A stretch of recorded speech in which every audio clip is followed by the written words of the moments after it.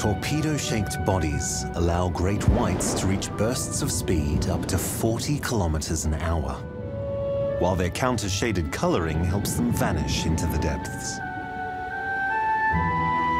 Specialized sensory systems enable them to detect prey from incredible distances. Using everything from sound vibrations to electrical pulses.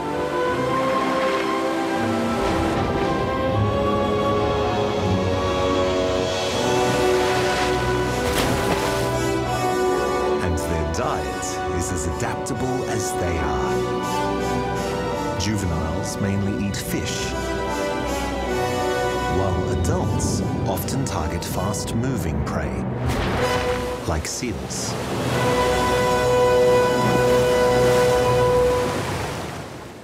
Having survived as a species for millions of years, this top ocean predator faces only one real threat to their survival. Us. Far from being mindless hunters, great whites are complex, calculated animals. More vulnerable than their fearsome reputation suggests. They grow slowly, taking over a decade to reach sexual maturity and produce relatively few offspring across a long lifespan.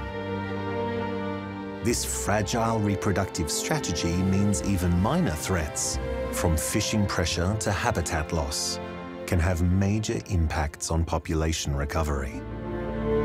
Understanding them is the key to preserving them, ensuring that the great white continues to reign, not through fear, but as a symbol of nature's indomitable strength.